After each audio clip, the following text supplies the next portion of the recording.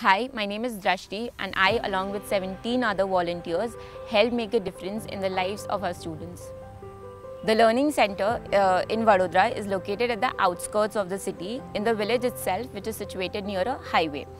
Um, during one of our classes on digital literacy where we introduced the students to different shopping uh, websites, one of our students named Shakthi mentioned how uh, they are totally dependent on their father for uh, the basic necessities and how her father is almost always on field which leads to delay in getting the essentials. Shakthi's volunteers, uh, what they did was uh, they helped them uh, figure out how to use different shopping websites which solved a lot of problems for her and her mother in particular. Access to different shopping websites opened up a whole new world for her and her family to get the essentials that they required.